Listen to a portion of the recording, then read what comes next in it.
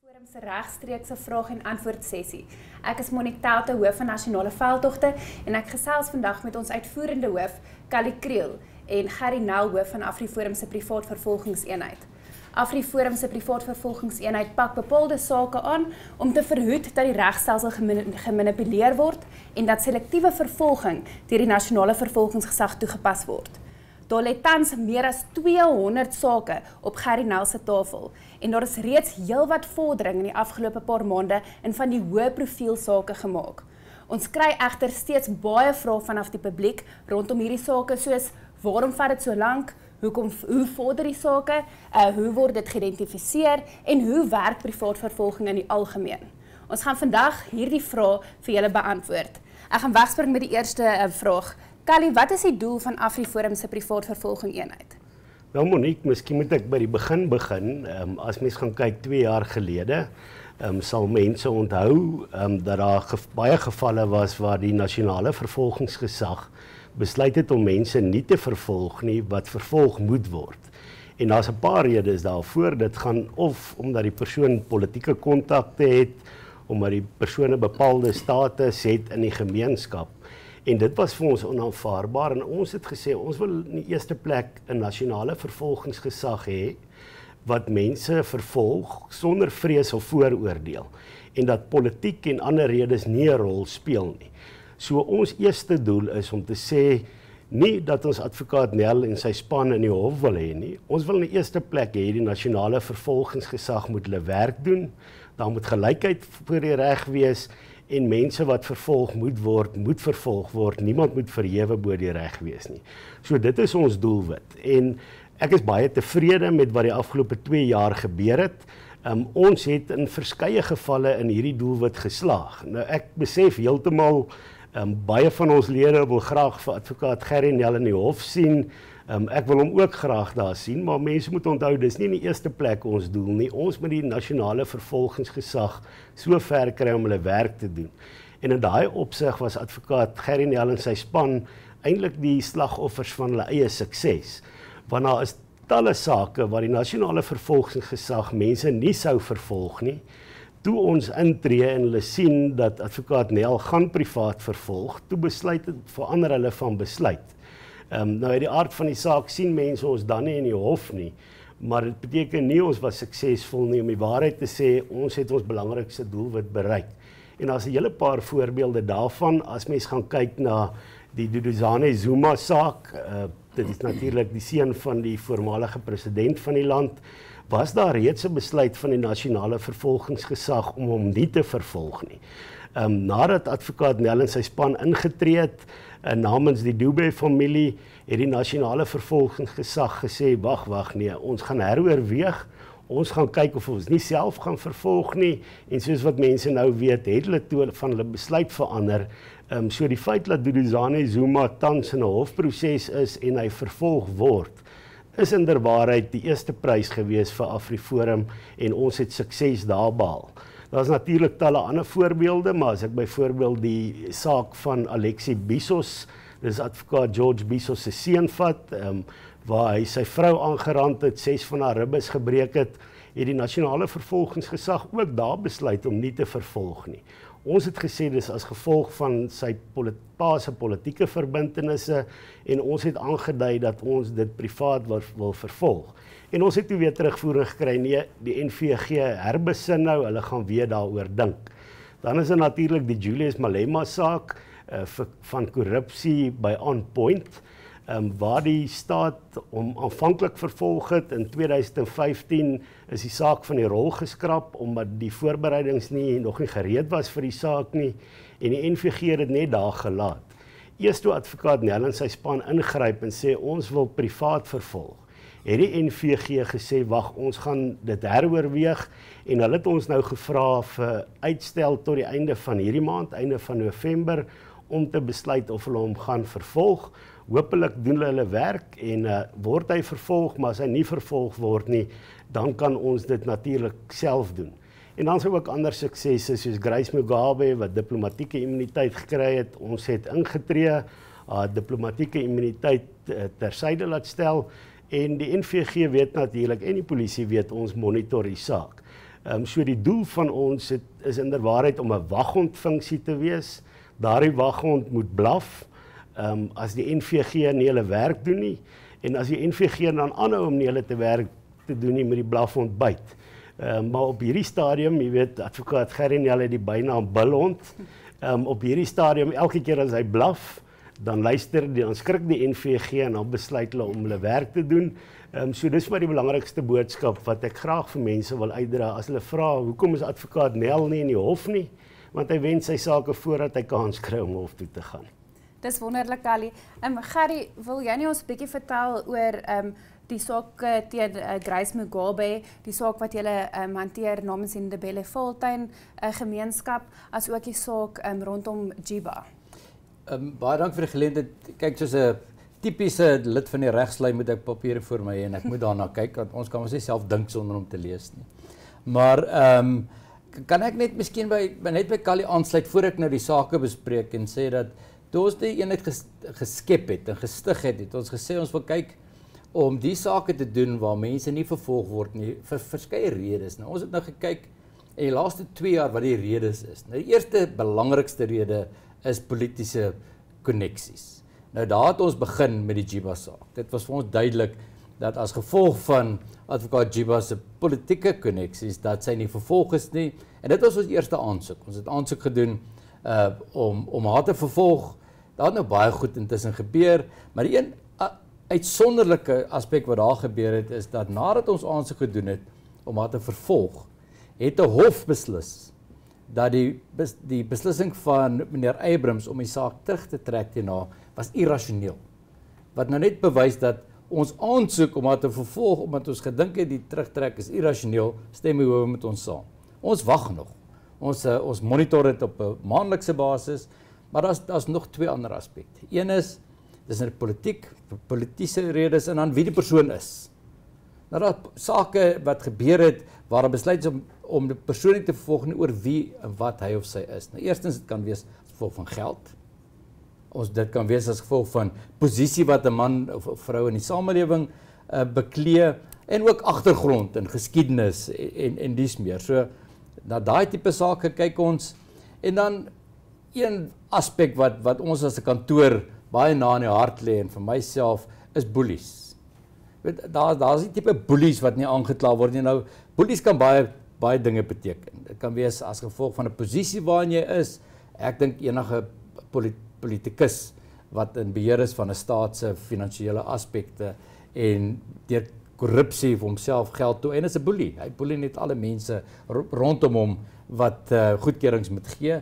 En natuurlik is daar die mense in die samelewing wat wat hulle self as onaantastbaar beskou. En en hulle is boelie. So daai drie aspekte wil ons na kyk. Uh en jy het gesê ek moet 'n bietjie kyk na die sake. Die uh Valtuin in die Belle gemeenskap is 'n gemeenskap hier in uh naby Mokopane, ou Potgietersrus nou. Daar's baie mense wat sê ek net daar betrokke omdat ek vandag kom en dit is miskien waar, maar uh die die gemeenskap het ons genader en uh gevra dat hulle het klomp sake oopgemaak teen 'n boelie, 'n groot myn uh maatskappy wat van Kanada afkom en wat nou mynregte gekry het op verskeie maniere en ook die plaaslike Goshi daar uh onder hulle beheer het en gesê hulle het verskeie sake gemaak kriminele sake en niemand wil vervolg. So ons aanknopingspunt was wil julle nie privaat vervolg En toe ons nou kyk na die sake te besef ons maar hier is regtig iets groots en hier is 'n gemeenskap wat deur 'n boelie wat natuurlik ook ehm um, regeringskontak het en, en staatskontak het wat geboelie word en ons is daar betrokke. Ons gaan kyk na die privaat vervolging, maar ons kyk ook na of ons die gemeenskap kan help omdat dit 'n gemeenskap is wat werklik arm is. Jy weet, uh, jy het dit self besoek, ons het almal besoek. Uh, as jy daar kom en jy kyk na 'n gemeenskap wat werklik arm is, wat wat nie 'n stem het nie, want niemand wil vir hulle luister nie. Uh en en ons het 'n stem omdat ons kan vervolg. Uh kyk ons na hulle en en ons help vir hulle. Ons het dan seker ander sake wat ons uh, weer uh, verder op sal uitbrei. Die Tannie Modise saak. Die Tannie Modise saak wat ons ook nou aansoek gedoen het om te vervolg waar daar weet 'n uh, absolute ehm um, iets gebeur het op op die plaas waar as gevolg van die nalate 'n uh, verskeie diere gevrek het van die honger. Jy weet, daar's video's wat ons kan kyk waar uh varke mekaar begin eet het net om aan die lewe te bly. En en daar's besluit om nie te vervolg nie, bloot oor die persoon wat dit is. Want ons het nou daar betrokke geraak, maar hier is ook 'n goeie in die storie, miskien ons raak daar betrokke in verhouding en in vennootskap met die dierebeskermingsvereniging. Die dierebeskermingsvereniging wat wat ook 'n organisasie is wat met ledegeld na na dierebelange kyk, vra ons om om toe te tree want hulle kan nie verstaan dat daar besluit is om nie te vervolg nie. Toe ons nou eers betrokke is, kan ons ook nie verstaan dat daar besluit is om nie te vervolg nie.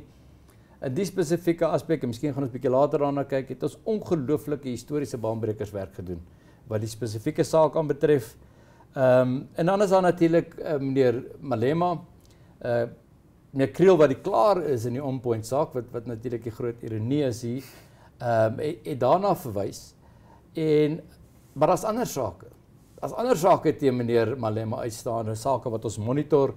Daar's aanrandingssake teen teen 'n polisieman wat gebeur het tydens die begrafnis van uh, Winnie Mandela wat ons kyk en monitor en en ons maak dit duidelik dat as die NVG nie gaan vervolg nie, gaan ons toetree en ons gaan vervolg. Daar's ook 'n 'n ander saak waar meneer Malema 'n vuurwapen afgevuur het in 'n openbare plek. Daar sê ons ook ons monitor dit, ons gaan kyk of hulle vervolg. As hulle nie vervolg nie, is ons daar. Die uh Gabrielle Engels Grace Mugabe saak, daar het ons van die begin af gesê hier gaan iets gebeur. Nou wat interessant is hier, as gevolg van die feit dat ons die kapasiteit het en 'n kantoor het om hierna te kyk, het meneer Kriel vinnig gesien dat daar gaan niks gebeur nie dat die die staat gaan diplomatieke immuniteit toeken en dat 'n beskuldigde hier gaan wegkom. Daarom het ons onmiddellik betrokke geraak. Uh, ons betrokke geraak en ons het vir die vervolgingsgesag gesê as jy nie vervolg nie gaan ons vervolg. Ons gaan hierdie uh, gesin help. Ons het ons het die die klaagster ingekry, verklaringe vanaand geneem wat korrek is uh, wat in die dossier geleaseer kan word en ons het die hele proses gevolg. Die proses nou is die diplomatieke immuniteit is tersyde gestel. Ehm um, daar is niks wat wat die polisie nou verhoed om die saak te voltooi. Daar's niks wat die vervolgingssaak verhoed om nou aan te soek vir aansoek te doen vir uitlewering nie. As hulle dit nie doen nie, gaan ons sekerlik betrokke raak. So, maar laat ek nou nie al die vrae wat daar is vooruitloop nie. Daar's verskeie vrae en en ek hoop dat mense uh, dit wat hulle pla uh vir ons bel en, en inskakel op 'n manier en vir ons vra vra Want die moeilikste vraag natuurlik wat almal wat nou na my kyk sal hê is hoekom vat dit so lank? Uh ek hoop ons kry nie tyd om by daai vraag uit te kom. kan kan ek miskien net ietsie byvoeg oor die Tande Modise saak? Jy weet, ehm um, iemand vra my nou die dag maar jy weet daar's soveel probleme in die land. Ehm um, hoekom raak hulle nou by betrokke by 'n saak waar dit gaan oor varke? Nou in die eerste plek is dit belangrik dat mense nie diere mishandel nie, so dis 'n kritiese punt, maar daar's ook 'n ander punt wat mense moet besef. Ehm um, die een groot probleem in ons regstelsel is, is as iemand nie vervolg nie word nie as gevolg van hulle posisie. En dit verswak die hele regstelsel tot nadeel van ons almal.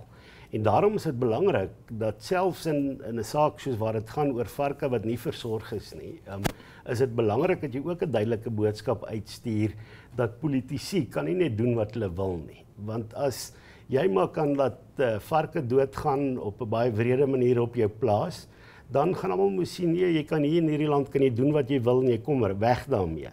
En ek dink dis die belangrike boodskap wat ons wil uitstuur om te sê niemand is hier voor verhewe bo die reg nie. Dit maak nie saak of jy van Modise is of jy van Malema is en of jy van Zuma is nie. En niemand is onaantastbaar nie en ons moet daai beginsel moet ons vestig. En dis die belangrikheid van wat ons moet bereik um, met hierdie soort van sake wat ons aanpak. Ja, dis definitief so Callie. Ehm um, Gerry, 'n baie eenvoudige vraag wat jy al baie beantwoord het, maar mense verstaan dit nog steeds nie. Hoe werk privaat vervolging? Ehm um, wat is 'n nolle prosecutie sertifikaat en wat is 'n mandamus aansoek? Goed. Ehm um, ek dink die maklikste manier om 'n uh, privaat vervolging te verduidelik uh, baseer ek op drie punte. Nou die heel belangrikste as jy wil privaat vervolging uh, verstaan is om vervolging te verstaan. Dit wat die staat doen. Alle sake in hierdie land, alle kriminele sake word eers voorgelê aan 'n aanklaer, die vervolgingsgesag. So die vervolgingsgesag moet besluit om te vervolg of nie op alle sake. So hulle het die eerste keuse, hulle kyk eers daarna. As hulle besluit om nie te vervolg nie, eers dan kan ons betrokke raak. So dink net aan die hoeveelheid sake wat deur die land gaan, hoeveel sake is betrokke en dan dink hoeveel sake kan ons na kyk. Is net daar die sake wat hulle besluit om nie te vervolg nie. Maar dis nie al nie. Ons omtrent soos 'n advertensie van daai parama nie. Dis nie al nie. Ehm um, as ons wil aansoek doen vir 'n sertifikaat uh, om te vervolg, moet ons dit doen by die vervolgingsgesag. So ons skryf vir hulle is 'n aansoek en ons sê ons dink daar's 'n saak. As jy nie gaan vervolg nie, wil ons vervolg. Dan het hulle 'n geleentheid om dit te heroorweeg. Want ons sit uiteen hoekom ons dink daar's 'n saak. Dan het hulle geleentheid om te heroorweeg wat hulle nou gedoen het in die Zuma saak en die Bizo saak. Hulle besluit om te heroorweeg. Nou as hulle heroorweeg en hulle vervolg is dit vir ons 'n oorwinning. Want wat ons wil hê soos Callie aanvanklik verduidelik het, ons wil net seker maak dat daar vervolg is. Maar as hulle dan nog steeds sê nee, dan het hulle nie 'n keuse nie. Hulle moet vir ons 'n sertifikaat gee. Die wet sê as jy reg het tot 'n sertifikaat, moet hulle of die sertifikaat uitreik of self vervolg. As hulle die sertifikaat uitreik, dan het ons 'n reg om te vervolg. Maar wat baie belangrik is en wat ons nou daagliks sien en ontwikkel is, ons het dan die regte van 'n aanklaer. Alle regte wat 'n aanklaer het, het ons. Gewone howe, gewone reëls van bewysreg, gewone reëls van prosedure, die die die regsproses is 100% dieselfde asof ons namens die staat vervolg. So ons moet dit in ag neem. So ag neem is net 3 punte. Is regtig is een hulle die eerste hulle die eerste toegang tot 'n saak, twee ons moet by hulle toes, nie toestemming kry, sertifikaat kry om te vervolg, dan kan hulle heroorweeg en 3 dan moet ons vervolg. Die 3, kom ons sê 3 en 'n half of 4 is daar's 'n koste aspek. As ons vervolg en en ons is nie suksesvol nie, dan moet ons al die koste van die beskuldigde betaal. Wat reg is. Ek ek ondersteun dit. Mens kan nie sommer enigiemand vir die hof daag laat hulle onkoste aangaan en jy's nie suksesvol en jy kom daarmee weg. Ek ek ondersteun die beginsel. Maar die beginsel het 'n teenkant. As ons vervolg en ons is suksesvol, moet die staat al ons koste betaal. So dit is 'n dit is 'n aspek wat mens moet aan aandag gee. Mandamus uh 'n mandamus is is 'n beginsel in die reg, 'n prosedure in die reg waarmee jy iemand wat 'n besluit neem en en dit nie doen nie, kan dwing om besluit te neem. Dit is al wat 'n mandamus is. 'n Mandamus is ons nader die hof en sê die vervolgingsgesag wil nie 'n besluit neem, kan nie 'n besluit neem, het nie 'n besluit geneem nie. Dis al wat hulle moet doen. Die hof moet hulle forceer om 'n besluit te neem. En dit is hoe ons 'n besluit uit die vervolgingsgesag sal kry as hulle versuim. Ek dink as ek net ietsie daaroor kan sê want dis ook 'n vraag wat ek baie keer by mense kry wat sê hoekom vat dit so lank? Ehm um, maar die feit is um, ons werk binne 'n regstelsel en die wiele van die reg draai baie stadig. Jy kan byvoorbeeld vat iets soos Julius Malema se korrupsie het tussen 2009 en 2011 plaasgevind. Ehm um, maar die saak was eers in 2015 in die hof. Nou uit die aard van die saak, ehm um, ons is doeners by Afriforum. Ons met alles wat ons aanpak, wil ons hê dit moet vinnig gebeur. So jy wil eintlik nou vandag die saak hê, môre wil jy die sertifikaat kry en oormôre wil jy die persoon in die hof sien, maar dit werk ongelukkig nie so nie. Ehm um, wat byvoorbeeld gebeur het, ons het al aan die begin van die jaar gesê ons wil Julius Malema uh privaat vervolg. Toe sê die NVG nee, hulle wil graag ehm um, weer na 'n paar aspekte kyk wat ons dink nie nodig was nie, maar toe hulle weer uitstel gevra. Ehm um, nou daai gesloer is iets wat mense verskriklik irriteer, maar dit is ongelukkig hoe die reg werk. Maar die belangrike ding is dat mens net moet sorg dat die wiel van die reg aanhou draai. Ehm um, geregtigheid gebeur nie net binne 'n maand of 2 of 3 of dalk selfs binne 'n jaar of 2 nie. Uh, maar mens moet uh, ongelukkig deur al hierdie prosesse gaan. Um, elke keer as ons vra vir 'n nollie prosecutie sertifikaat, dan het die NVG kan hulle sê goed, hulle wil waarskynlik 3 maande vat om 'n besluit te neem. En as hulle dan uh, besluit neem om te vervolg, dan vat dit uh, weer 'n paar maande voordat die die wiele van die reg begin draai en dan word die saak uitgestel. Maar daai is 'n werklikheid wat mense nie moet moedeloos maak nie. Ek dink die dit moet eintlik vir ons 'n aansporing wees om te sê, kyk, Ons gaan sorg dat hierdie wiel draai. Ons gaan aanhou met wat ons doen en uiteindelik sal geregtigheid seëvier soos wat gebeur het met 'n klomp sake. Jy weet, as mens vat die vorige president. Ehm um, jy sal onthou hoe lank terug al daar ehm um, sprake was um, met die Shabir Sheikh saak dat die president ook vervolg moes word. Toe was hy in twee termyne 'n president gewees waar hy nie vervolg is nie. Dis meer as 10 jaar wat verloop het. Maar nou moet mense nie moedeloos raak en sê ag nee, hy gaan nooit vervolg word nie. Dit is hoekom Afriforum ook daai tyd aangedui het. Um, ons wil graag uh, vir Jacob Zuma en vir die Guptas wil ons um, vervolg. Maar daar's natuurlik ook ander faktore wat 'n rol gespeel het. Um, daar was 'n verandering in die magstrukture in die land en so meer. Maar toe Shaun Abrahams se besluit weer moes neem of hy voormalige president Zuma gaan vervolg of nie, het hy dit gedoen met die wete dat advokaat Nel en sy span is reg om private vervolg daar as hy dit nie doen nie. En ook daar het hy besluit om uiteindelik te vervolg, maar nou weet ons daai saak is ook uitgestel. Ehm um, so as mense vra maar hoekom is die mense nie nou al in die tronk nie? Ons wil lankal enige ou wat uh, die wet oortree en belastingbetalers geld steel en korrup is en soos 'n boelie optree, hoort agter tralies. Um, maar mens moet besef dis 'n lang proses.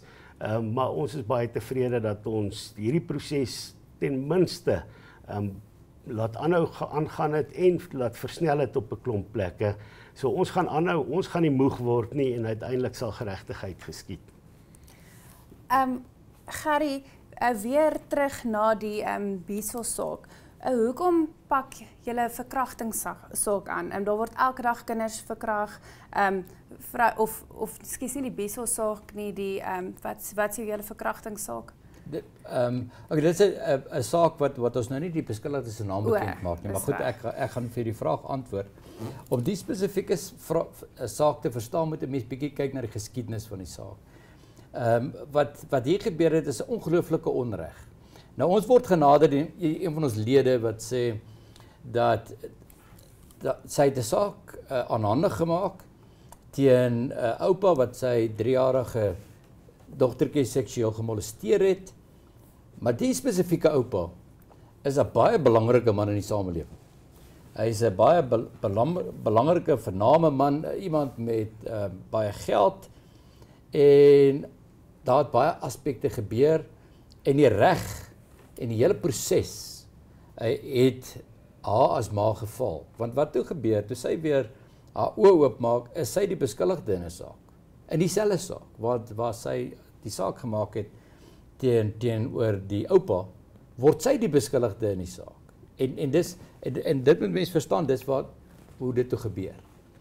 Sy kom na ons toe en sy sê ek het 'n saak gemaak en dit lyk of die vervolgingsgesag nie gaan vervolg nie. En dis mos nou wat waar ons dit is ons doel, ons wil vervolg wat daar saak is. Ons kyk na die saak. En dis hoe ons betrokke raak. Ons kyk na die saak, kyk na die feite, ons besluit, maar hier is 'n saak. Ons kan nie verstaan dat dit nie vervolg nie. En toe ons 'n bietjie dieper delf, toe sien ons maar hier gaan ongelooflike ehm uh, onreg aan. En ons kyk na alle faktore van die regsproses wat betrokke is. Ons sien daar's baie mense betrokke. Die howe is betrokke, daar's kurators betrokke, daar's allerlei mense betrokke. Uh, en en as dit as dit nou vreemd is vir, vir almal wat nou na my kyk, ons moet so versigtig wees want ons mag nou glad nie hierdie beskuldigde se naam, identiteit of die van die klaagster bekend laat word. So ek moet baie versigtig wees in hoe ek my woorde kies, want in terme van die reg, as iemand nou aangekla word vir 'n seksuele oortreding, mag jy nie hulle naam bekend maak nie en jy mag ook definitief nie die naam van 'n minderjarige klaagster nie wat in hierdie geval 3 jaar oud is. Maar laat ek voortgaan ek myself in die rede geval. So ons kyk toe daarna en uh, ons besluit dat eerstens ons dink daar's 'n saak. Ons verstaan nie hoekom daar nie vervolg word nie. Ons verstaan nie hoekom daar nou ewe skielik gekyk word na die maan nie. En die tweede aspek wat vir ons eh, 'n teken is dat ons betrokke wil raak en moet raak, is dat ons dink daar's 'n onreg wat gebeur. Onreg wat gebeur deur die howe en ons raak te betrokke. Weereens, soos uh Kali verduidelik het, die regsproses gaan nou maar sy gaan, gang. So ons moet wag dat beide sake ondersoek word, dat beide sake deur die vervolgingsgesag genolie word, dit beteken of geweier word om te vervolg. En toe dit gebeur, toe doen ons aansoek. Dit doen ons aansoek om te vervolg. Maar wat interessant is hier en dit is nou maar soos wat ons Uh alles wat ons doen is baanbrekerswerk. Dis 'n eerste. Uh hier kry ons baie teenstand van verskeie uh dele van die reg, verskeie mense wat betrokke is, verskeie instansies wat betrokke is. Kry ons teenstand en ons is op die oomblik besig met 'n uh, uh, briefoorlog uh, om om in hierdie saak betrokke te raak en betrokke te bly sover as wat ons wil wees. Maar een ding wat Callie sê en wat ons 100% sê, ons ons word nie moeg nie. Ons is ons het die, ons enigste belang in die, in die sake wat ons neem is geregtigheid. So dis nie asof ons 'n party ondersteun uh, en een van die partye se se belange moet dan kyk, gaan vir ons oor geregtigheid. So hier is vir ons 'n saak wat ons na in die hart lê. Eerstens dink ek soos wat uh ons teen diere mishandeling is in, in meeste mense moet mense net bietjie terugsit en dink hoe wie help 'n ma wat se 3-jarige dogtertjie deur haar oupa in die privaatheid van waar haar kind moet veilig wees seksueel gemolesteer is en die regsproses gaan daarna verkeerd uh, tot so 'n mate dat dat sy nie toegang het tot haar kinders nie en en dit is die ongelooflike uh, aspek wat ons het wat hierdie val nou binne ons mandaat is is 'n lid van AfriForum en ons gaan kyk. Ons gaan kyk hoekom dan nie vervolg is nie en ons gaan self vervolg. Callie, hoekom hoekom raak AfriForum nie eerder betrokke by die bekende doodskus saak of die Kolini saak of sake soos die uh, Spen, uh, Penny Sparrow of Wiki Momberg sake betrokke nie? Ja. Nee, dankie daarvoor. Ek wou nog iets bygevoeg het by die vorige vraag, so ek gaan dit nou eers doen, maar ek gaan nie jou vraag ignoreer nie. Ehm um, die belangrike ding wat jy genoem het in die begin van jou vorige vraag is om te sê maar daar is baie verkrachtings wat plaasvind, daar's baie aanrandings wat plaasvind. Hoekom vat julle nou hierdie een saak? En daar's 'n gesegde wat sê hoe eet jy 'n olifant? Jy eet hom stukkie vir stukkie. Ehm um, dit help nie jy sê o, gas nou so baie sake, ons gaan nooit wen nie, kom ons los dit heeltemal nie. Ehm um, so jy moet stukkie vir stukkie moet jy hierdie goed begin begin aanpak om 'n verskil te maak. Wat mense moet onthou, anders as die staat, um, kry ons nie belastingbetalers geld nie. Die nasionale vervolgingsgesag sit met letterlik 'n paar duisend mense wat vir hulle werk. Um, ons is tevrede dat ons die beste aanklaers en ondersoekers in hierdie land uh, het by advokaat Nel se eenheid. Dis 'n span van 8 mense as ek die syfer uh, reg het, um, wat baie hard werk. Nou 8 mense kan natuurlik nie um, al die verkrachtingssake opvolg en al die aanrandingssake opvolg nie. Maar wat jy wel kan doen is jy kan 'n paar sake vat en jy kan met jou sukses daarin kan jy 'n baie duidelike boodskap uitstuur um, aan die polisie en aan die nasionale vervolgingsgesag dat dit 'n uitkring effek het. Want ons het hier in een saak wat die polisieman wat die saak moes ondersoek, um, het sy het nagelaat om sy werk ordentlik te doen. En as hy nie tot verantwoording geroep word nie, dan gaan daar polisie mense in ander sake wees wat ook sê, "Ag, weet jy man, ons kan maar sommer net lekker los lewe en en nie die goed ernstig opneem nie en mense in die steek laat want geen haan gaan daarna kraai nie." Maar as jy 'n voorbeeld begin maak van so 'n saak en as die NVG wat in bepaalde sake nie vervolg nie, ehm um, sien jette, maar hier tree ons nou in en tree op, dan kring dit uit in daai honderde ander sake waar polisie manne en vroue en daar's gelukkig baie polisie manne en vroue wat baie hard werk wat daai wat nie hulle werk doen nie moet sien jong hierso um, ek kan ontbloot word as ek nie my werk doen nie. Die NVG persoon wat met besluit oor vervolging sê ek kan ontbloot word as ek nie my werk doen nie. En so dink ek ons impak gaan baie groter wees uiteindelik as net die sake waar ons aanpak want jy maak eintlik jy plaas druk op 'n vervolgings uh, iemand in die vervolgingsowerheid wat jy dalk nie eens van weet nie. Want hulle moet besluite neem om te weet maar hoor jy daar buite iewers is daar agt met bekwame mense wat um, my kan ontbloot as ek nie my werk doen nie. So ons impak is baie groter as wat ons ons getal mense is. Jy het my nou gevra die vraag oor hoekom raak ons nie betrokke by bepaalde sake wat jy noem nie. Ek dink in die eerste plek is dit belangrik om te sê Um, ons het 'n vervolgingseenheid begin wat mense moet vervolg wat om politieke of ander redes nie vervolg word nie. Nou daar gebeur baie sake waar die regering baie vinnig inspring um, om mense te vervolg. As jy vat byvoorbeeld iets soos Wiki Momberg Um, ek dink daai klag was nog skaars um, ingedien toe die vervolgingsproses glad geloop en daar het vervolgings plaasgevind. Um, so daai sake waar daar vervolgings is, kan nie uit die aard van die saak nie betrokke raak nie. So ons raak by die betrokke waar daar nie vervolgings is nie, maar ons is ook nie 'n verdedigings um, organisasie wat mense wat aangekla word uh, verdedig nie. Um, daar's baie goeie prokureurs en advokate wat spesialiseer daarin. Ons het 'n vervolgingseenheid begin. So ons kan nie nou gaan sake begin doen om mense in die howe te gaan verdedig nie. Dit beteken nie ons staan uh, koud teenoor daai soort sake nie. Ek persoonlik dink ehm um, die die die vonnis by die doodskus saak is buitensporig ehm um, lank gewees uh, vir wat daar gebeur het. Ehm um, uit die aard van die saak dink ek ehm um, ek mens veroordeel die feit dat mense in 'n doodskus ongeag van wat die persoon gedoen het, ehm um, daai goed veroordeel jy, maar die proses moet nog steeds reg loop. Maar daai mense in daai sake het regsverteenwoordigers om waar onregte plaasvind, hulle self te verdedig.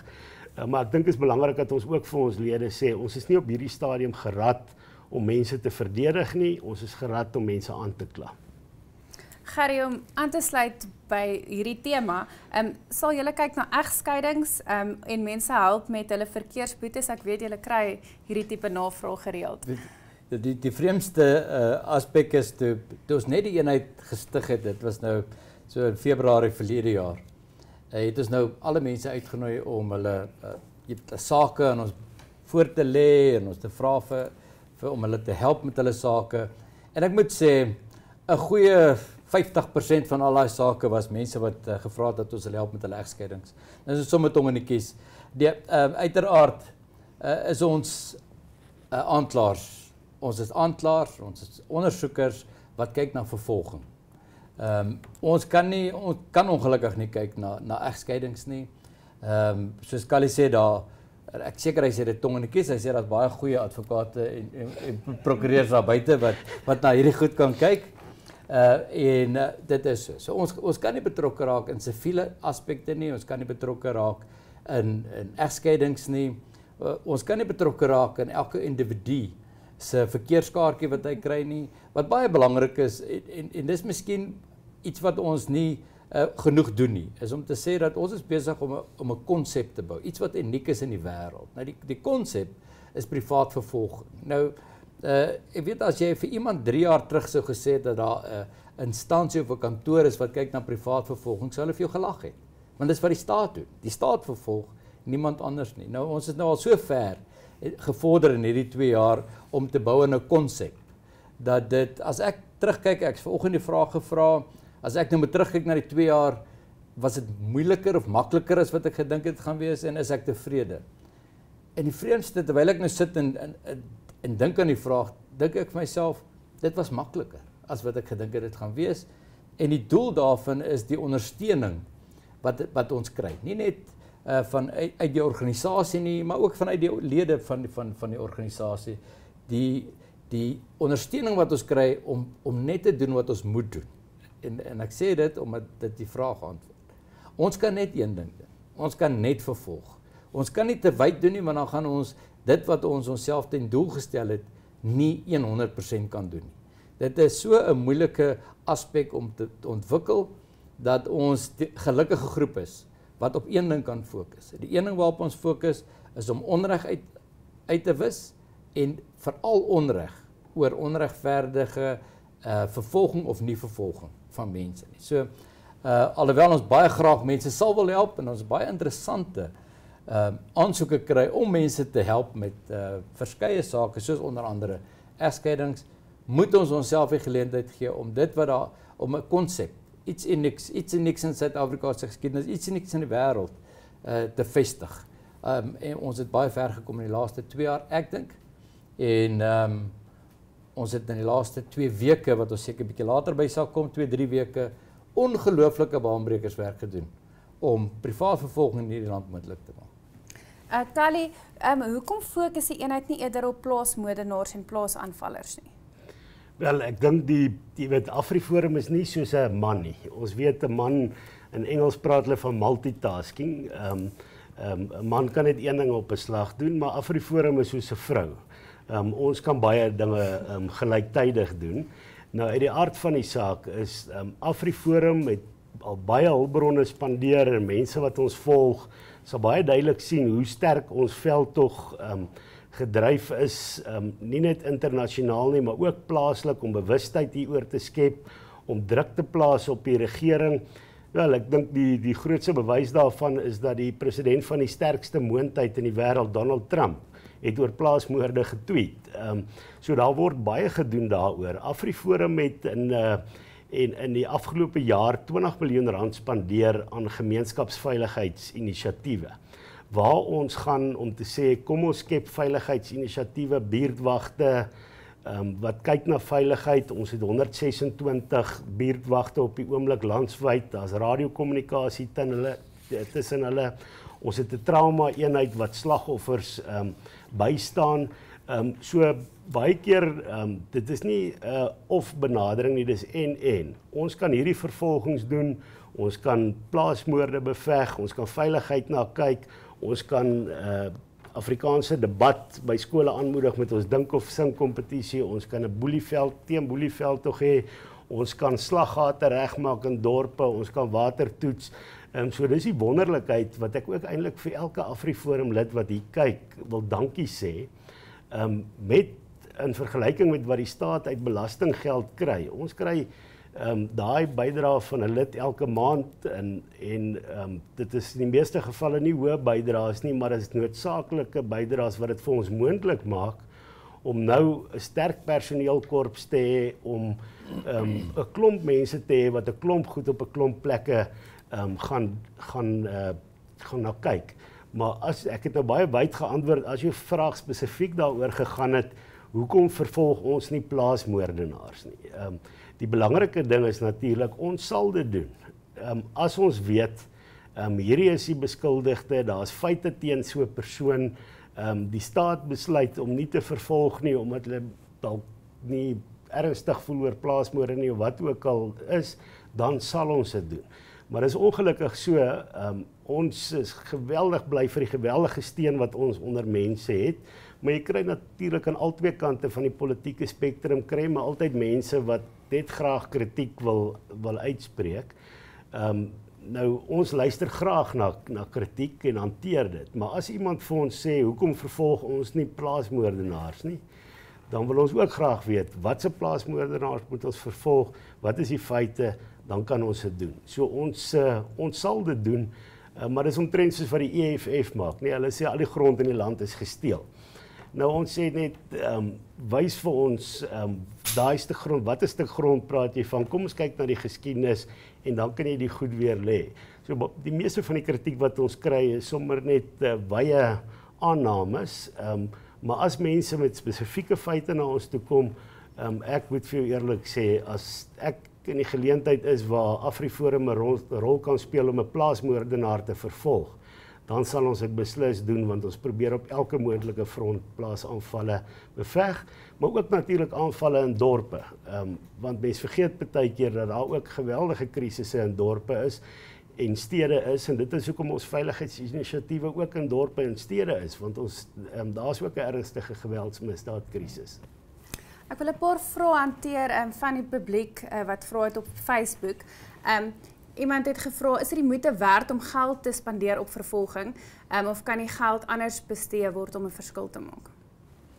Ehm um, die geld antwoorde met seker van Kalikom van waar ek sit is, ek dink ons moet bietjie breër daarna kyk. Ons moet daarna kyk vir die doel waaroor ons geskep is en dit is om toe te sien dat die regstelsel en die veral die strafregstelsel werk. Want as die strafregstelsel nie werk nie, dan kan ons nie mense vervolg nie en en dan dan gaan dit verval.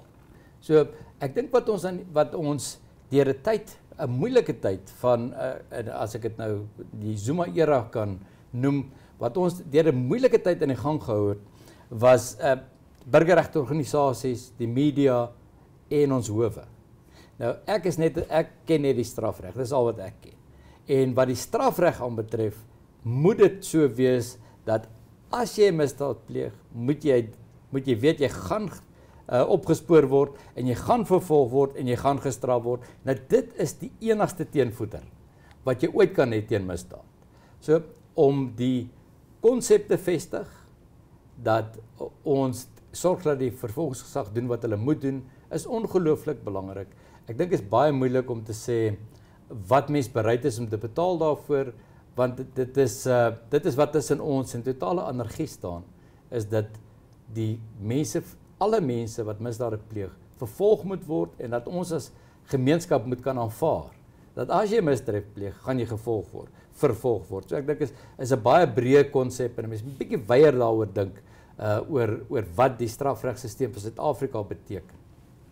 Ja, miskien kan ek uh, ons is juis nou besig met 'n begrotingsproses nou. Um, ons is dankbaar vir die bydraes wat ons kry, maar ons moet ook ons sente omdraai, nê? Nee? Ons moet ons moet baie meer doen met minder as wat die staat sê nou maar kan kan doen. En ons kry dit reg met die hulp van ook die 7000 vrywilligers wat AfriForum het, kan ons slaggate regmaak teen sê maar die fraksie van 'n koste wat 'n munisipaliteit kan doen en dan dink ons nie eens aan die korrupsie wat in die tenderproses is nie waar dit baie meer kos om bepaalde goed te doen. Nou wat ons elke jaar doen is waar ons gaan kyk en ons prioritiseer en ons sê wat is belangrik um, om vir ons se toekoms te help skep. En daar's op 'n klomp fronte moet daar goed gedoen word. Ehm um, veiligheid is belangrik. Ehm um, infrastruktuur is belangrik. Ehm um, om mense tot verantwoording te roep is belangrik. Om jou geskiedenis en taal te bevorder is belangrik. En uh jy kan juis luister aan die mense wanneer hulle hulle vers, versoeke indien vir begrotings, dan sê hulle vir jou baie goed hoe belangrik elkeen van hulle aspekte is. Maar as ek kan sê, um, ek dink privaat vervolging is 'n kritiese aspek want die hele samelewing se funksionering hang af ook van die goeie funksionering van die regstelsel. As die regstelsel in duie stort, dan raak dit almal. Dit gaan nie net oor daai een saak nie. Um as die polisie nie 'n saak ondersoek teen 'n ma wat se kind gemolesteer is deur die oupa nie. En die vervolgingsgesag laat hulle in die steek en dit word die reël. Dan moet jy weet môre het jy 'n probleem en jy gaan polisie toe en hulle help jou nie en daar word nie vervolging plaas daar vind nie vervolging plaas nie. As dit nie gebeur nie is daar al hoe meer mense wat ons reeds ongelukkig sien wat sê hoorie man maar hier gebeur niks met my nie. En dan verval jou samelewing in anargie so ons moet nooit die belangrikheid van hierdie aspek vat nie maar as ek kan sê in terme van ons spandering uh, moet ek sê ons spandering op privaat vervolging is is op hierdie stadium 3% van AfriForum se totale begroting. Um, so um, ek sou bang as ek dit sê want dan gaan Gerry sê ons moet meer geld op op private vervolging spandeer. So ek dink mense moenie bekommerd wees om te dink as jy hier help dan help nie op 'n ander plek nie. Die goed skakel eintlik baie in by mekaar, nê. Nee, die kom ek vat vir jou net 'n voorbeeld, nê. Nee, Daar's mense wat sê hoekom hoekom help ons nou kinders um, in 'n gemeenskap in Nkandla laat die staat vir hulle skool bou. Dit is 'n minimale koste vir ons om hulle te help want ons gee 'n goeie regspan, maar ons gaan die saak wen en die staat gaan ons regskoste vir ons betaal. Maar hoekom is dit belangrik? Ek dink in die eerste plek is dit uit 'n beginseloorweging is dit belangrik. Ons sê kinders moet toegang kry tot kwaliteit onderrig. Dit is hoekom ons Afrikaanse skole al vir baie jare bystaan en veg vir behoud van Afrikaans en as ons deur so 'n gemeenskap genader word, dan is, ons sê ons veg vir Afrikaners, vir Afrikaanssprekendes en en hulle belange, maar soos wat ek sê, ons kan multitask soos wat die Engelse sê, ons kan ook geregtigheid vir ander mense um, najag op 'n basis van wederwysige erkenning en respek. En ons doen dit graag maar mense wat dan nou wil sê maar hoekom het jy nou daai geld daar spandeer? Jy kon nou hier hierdie Afrikaanse skool gehelp het. Ons antwoord is ons help die Afrikaanse skool in elk geval ook. Maar wat baie mense ook wil nie weet nie is daar's ook 'n tweede vlak. Ehm um, die mense wat byvoorbeeld ehm um, ons buitelandse veldtog teen plaasmoorde wil diskrediteer. Ehm um, sal baie ehm um, um, maklik sê man hierdie is 'n klomp rassiste wat uh, wat niks van van swart mense hou nie wat natuurlik alles 'n klomp leuns is. Um, ons is nie skaam oor wie en wat ons is nie en ons groot wederwysige erkenning en respek. Maar mense moet ook besef om 'n skool in Kandla te help. Help ons ook om plaasmoorde in die buiteland te bevorder want dit gee ook dit neutraliseer ook mense wat ons valslik beskuldig van allerlei rasse vooroordeele. So ek dink dit is belangrik dan wanneer ons kyk na AfriForum se begroting dat ons kyk na alles wat ons aanpak, laat mens ook moet besef hoe skakel hierdie goed in mekaar. En uh die uitdaging is baie groot. Ek bedoel ons moet op letterlik tientale amper oordryf ek en sê duisende fronte. Dit voel partykeer so as jy na die einde van die jaar kom asof jy moes op duisende plekke kyk. Um, maar daar's regtig baie goed wat ons um, moet doen. Um, maar daai goed skakel in met mekaar. Ons moet daaraan aandag gee.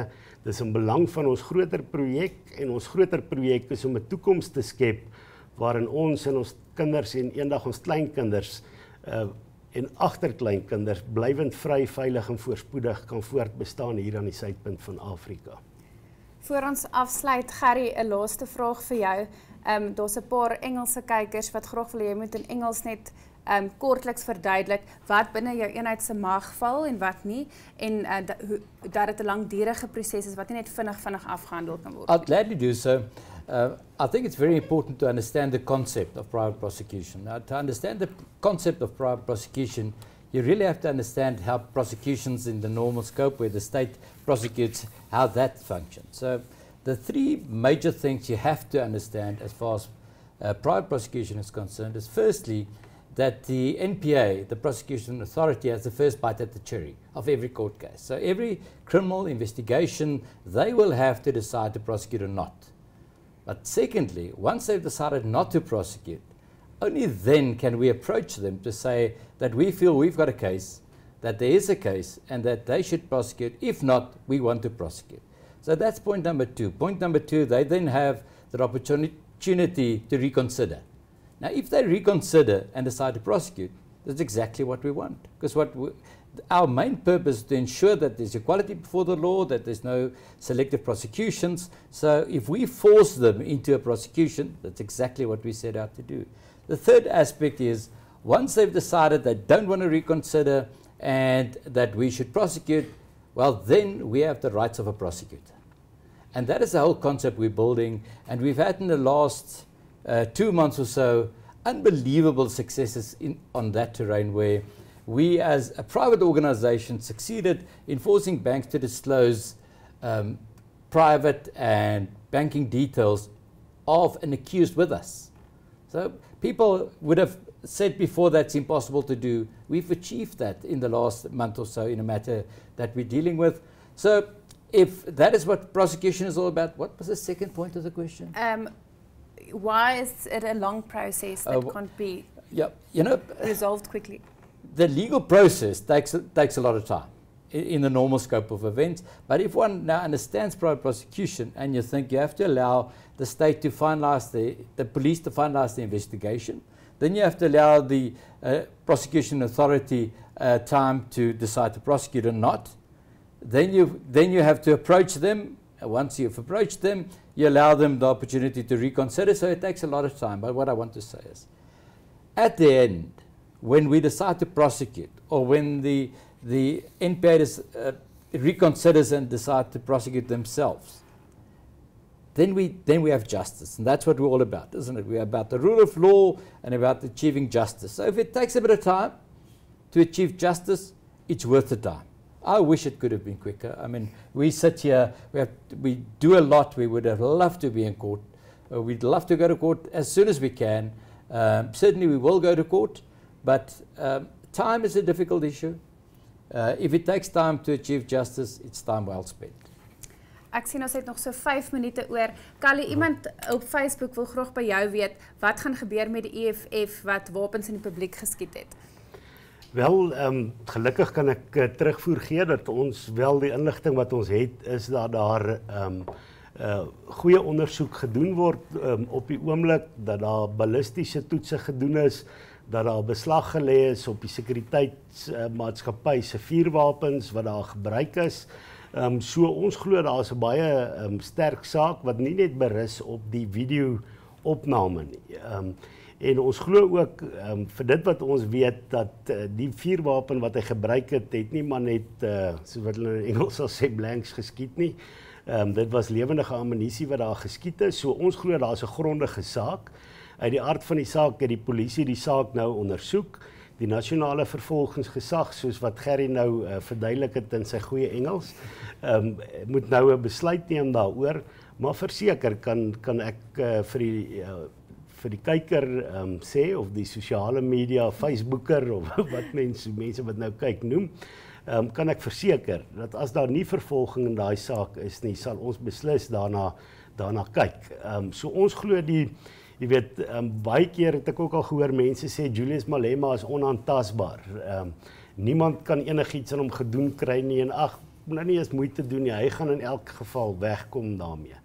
En wat ons nou die afgelope week gesien het is die die toue begin nouer span um, om hom en uh, hy moet begin verantwoording doen. Ehm um, die eerste bewys is ehm um, hy wil dit nou nie graag sê nie, maar AfriForum het uh, in ons bankrekening die pas 'n paar dae terug um, het ons 126000 rand eintlik 126703 rand en 59 sent om presies te wees het ons ontvang wat Julius Malema hulle vir ons vir 'n kostebevel wat al verlede jaar um, teen hom toegeken is moes oorbetaal word dit beteken hy moet uh, nou daaraan gehoor gee Um, ons het die balje gestuur om uh, hulle meubels te gaan opskryf. Ehm um, skynbaar uh, um, is hulle nie so sterk soos wat hulle voorgee nie. Jy weet mense raak baie keer bekommerd en dink is hierdie verskriklike mag. As ek kyk na die bates wat hulle daar het, is dit nie 'n verskriklike sterk organisasie nie. Ehm um, maar ons is nou in 'n posisie waar ons ehm um, deur gesprekvoering en tydslyne wat ons op die oomblik bepaal wat ons daai meubels kan verwyder en op 'n veiling verkoop. So die hele konsep dat iemand uh, onaantastbaar is, dink ek stuur ons nou baie duidelike boodskap uit. Jy kom dalk in die kort en medium termyn uh, reg daarmee om in die regsproses stadig werk. Dink hy dalk hy's onaantastbaar, maar hy's nou eintlik op die punt waar hy dit al waar daar geld al moes oorbetaal word wat ons al reeds ontvang het. Ehm um, hulle in totaal skuld hulle ons so 550 000. Ons het nou 'n deel gekry. So is meer as 400 000 wat ons weer daar moet kry van Julius Malema en sy span af. Ehm um, hulle het nou alles probeer in die howe 2 dae terug om dit te probeer afweer. Ehm um, maar wat hulle in die proses reg gekry het is om net nog twee koste bevele teen hulle te kry. So ek dink die belangrike beginsel is weer uh, moenie moedeloos raak of moeg raak nie. Ehm um, geregtigheid sal altyd seëvier. Ehm um, dalk vat dit langer. Ehm um, maar ons begin nou die vrugte pluk van werk wat ons al oor die afgelope paar jaar doen en uh die dinge gaan nou vinniger gebeur. Ons het nou al op 'n punt gekom waar ons ehm um, op die punt is om meubels op 'n veiling te verkoop. Ehm um, uit die aard van die saak is dit ook 'n belangrike boodskap vir ander mense daar buite wat dink hulle kan doen net wat hulle wil. Ehm um, uiteindelik sal jy tot verantwoording geroep word. Ehm um, nie omdat ek so oulik is nie, maar omdat Gerry Nel en sy span so oulik is en omdat AfriForum se lede dit vir ons moontlik maak om mense uh, met bekwaamhede uh, van die beste regskenners in die land, van die beste personeel in die land kan ons aanstel met die ondersteuning um, van ons lede. So ek wil sommer vir hulle baie dankie sê. En hulle kan ook sê dat hulle dit ook moontlik gemaak dat ons iemand soos jy kon aanstel en betrek. So um, baie dankie vir die ondersteuning van ons lede. Baie dankie Callie en Gerry, dis ongelukkig alwaarvoor ons vandag tyd het. Uh, julle kan Afriforum se Facebookblad dophou vir nog meer nuus en terugvoer oor ons sake.